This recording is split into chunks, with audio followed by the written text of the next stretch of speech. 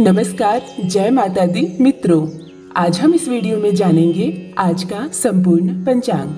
Video पसंद आए तो इसे लाइक ज़रूर करें एवं कमेंट सेक्शन में जय माता दी अवश्य लिखें। दोस्तों, सबसे पहले जानते हैं पंचांग क्या होता है। पंचांग सूर्योदय व सूर्यास्त, चंद्रोदय व चंद्रास्त पर आधारित होता है। पंचांग एक संस्कृत का शब्द है, जिसका शाब्दिक अर्थ है पाँच अंगों से युक्त। पंचांग भी पाँच अंगों से मिलकर बना है। यह है तिथि, वार, योग, नक्षत्र और करण। किसी भी शुभ कार्य को करने से पहले पंचांग अवश्य देख लें। आज का पंचांग जानने से पहले उन लोगों को शुभकामनाएँ देते हैं जिनका आज जन्मदिन है। आपको जन्मदिन की ढेर सारी शुभकामनाएँ।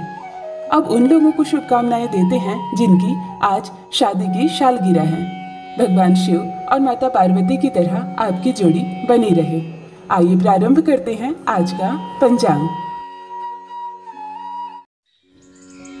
आज 29 जनवरी का पंचांग, हिंदू मास एवं वर्ष सख संबत उन्नीस सौ चौवालीस शुभकृत विक्रम संबत दो हज़ार उन्यासी। आज की तिथि है अष्टमी तिथि, जो कि नौ बजकर पाँच मिनट तक है, उसके बाद नौमी। आज का नक्षत्र है भरनी, जो कि आठ बजकर इक्कीस मिनट तक है, उसके बाद कृतिका। आज का करण है बालव और कौलव। आज का पक्ष है शुक्ल पक्ष। आज का योग है शुक्ल और आज का वार है रविवार।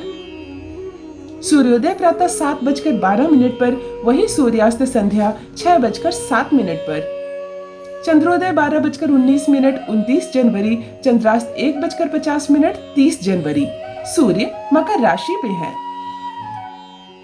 चंद्रमा दो बजकर छियालीस मिनट तक मेष राशि में उपरांत वृषभ राशि पर संचार करेगा। दिन है रविवार माह है माघ और व्रत है दुर्गा अष्टमी व्रत, महानंदा नौमी आज का शुभ मुहूर्त। अभिजीत मुहूर्त है बारह बजकर अठारह मिनट से एक बजकर एक मिनट तक। अमृत काल का समय है तीन बजकर अठारह मिनट से चार बजकर उनसठ मिनट तक। ब्रह्म मुहूर्त है प्रातः पाँच बजकर सैंतीस मिनट से छह बजकर पच्चीस मिनट तक। आज का शुभ योग रवि पुष्य योग है आठ बजकर इक्कीस मिनट से छह बजकर बयालीस मिनट तक तीस जनवरी।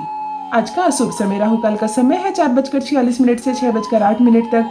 वहीं गुलिक काल का समय है दो बजकर पचपन मिनट से चार बजकर सत्रह मिनट तक। ये था मित्रों उनतीस जनवरी 2023 का पंचांग।